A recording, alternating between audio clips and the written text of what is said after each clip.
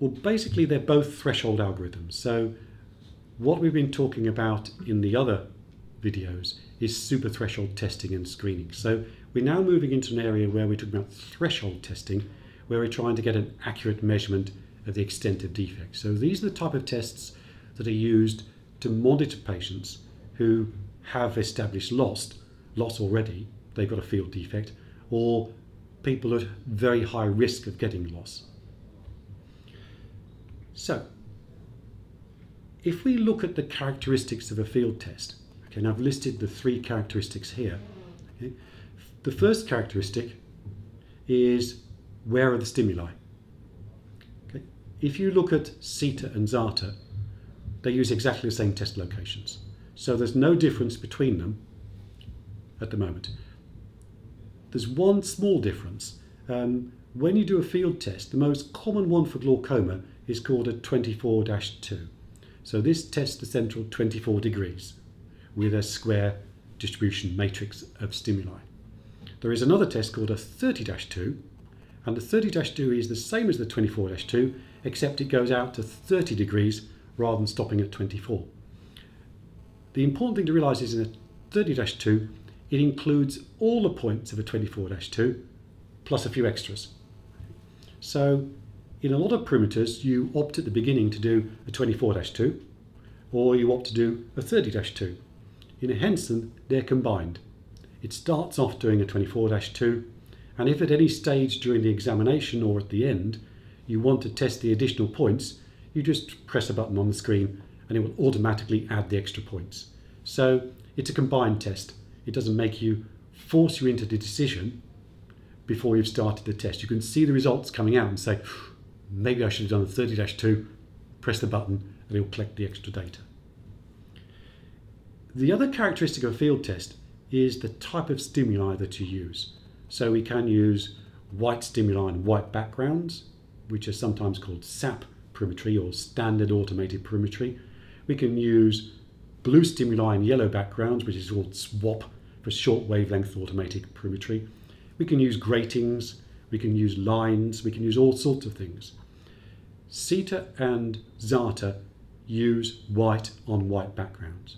Okay, so the same size stimulus on the same background luminance for both programs. So as far as the positioning is the same, as far as the type of stimuli, they are the same. The way they differ is just in the algorithm that they use. If we look at threshold testing through the ages, as it were, we can see the first threshold tests appeared in the 1970s.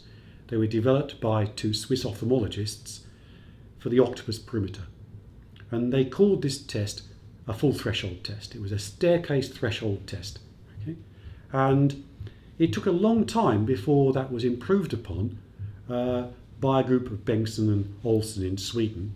And they produced the Swedish interactive thresholding algorithm, which is based upon a ZEST algorithm that was developed by psychophysicists. So some psychophysicists who were interested not in perimetry, but in finding thresholds, came up with this idea that a better and faster way to find a threshold was by doing it this way rather than using staircase methods. So the Swedes adopted this ZEST algorithm for perimetry and produced a thresholding algorithm that is much faster than the full threshold, but just as accurate. So the important thing to realize is that if you've got a SITA algorithm, there is really no point in doing a full threshold test. You'll get just as much data in less time, just as accurate by doing SITA. Now, SITA came out in 1998, so this is, what, 15 years ago. And in the 15 years that have happened since then, you know, we've learned a lot more about glaucoma, a lot more about the problems of detecting it, etc. And so ZATA builds upon SITA using the same basic ZEST algorithms, but going a little stage further. And let me show you how it does this. So on this slide here, at the bottom, I've got an example of a staircase test. So this is the threshold, this red line here of the patient.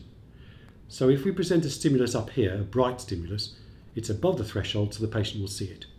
So the algorithm would be present this light, it's seen, make it dimmer, present it again, it's seen, make it dimmer, present it again, it's seen, make it dimmer, present it again, it's seen, make it dimmer, present it again, seen, make it dimmer, it's gone below the threshold, it won't be seen, and we can say, oh, the threshold lies between 5 and the sixth presentation they didn't see.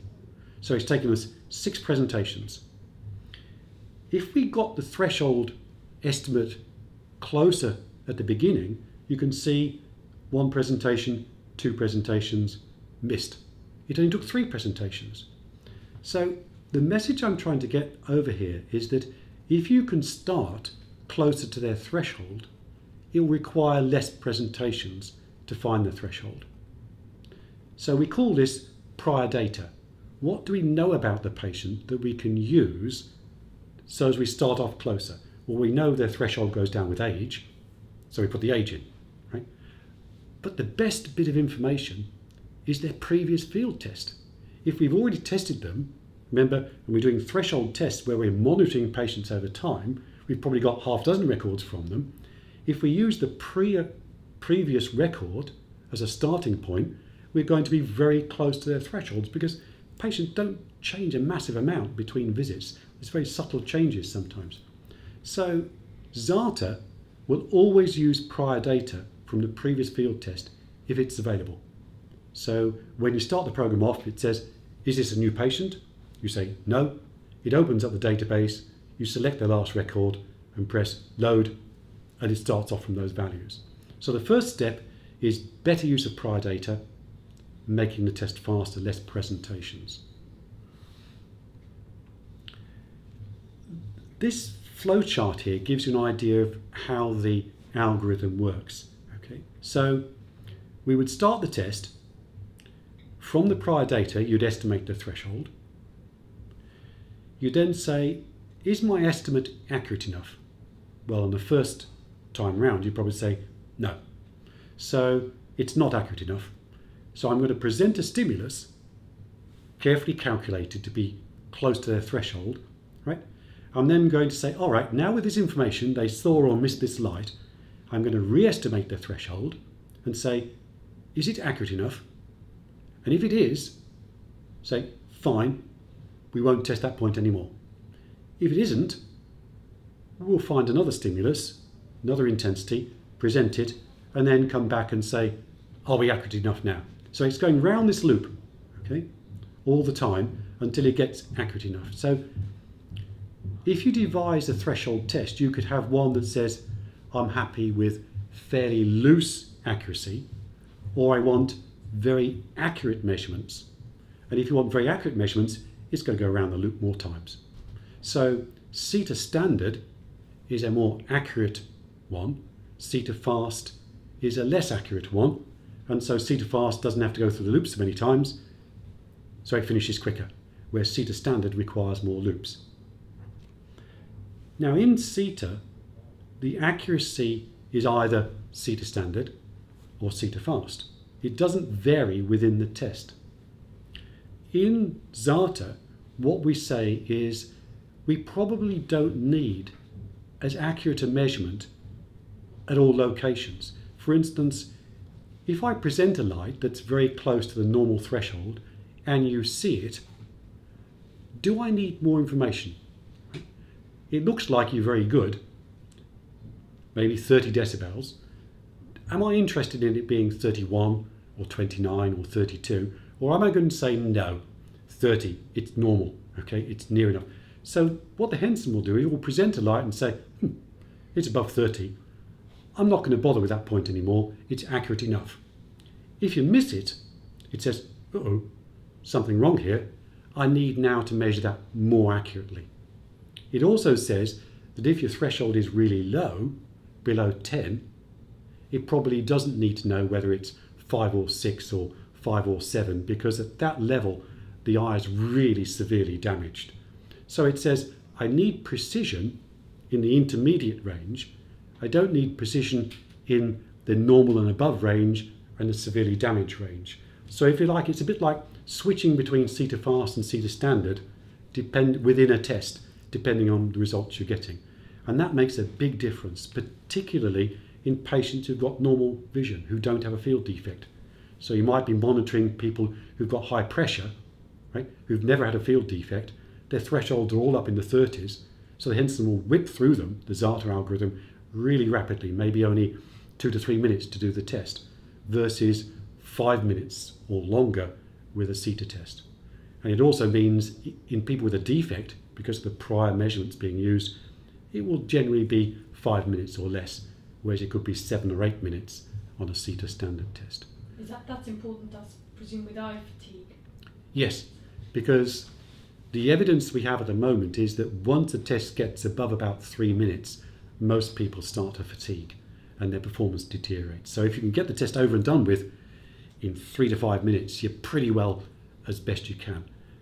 Clearly, the longer you spend, potentially the more accurate the measurement. But I think focusing the measurements on the areas that you're really interested in is important. And I forgot to mention, if it finds a point that's slightly abnormal, it not only accurately measures that one, but it also all the surrounding points. So it treats those, even if they were initially normal, it will measure them with more precision because obviously defects tend to grow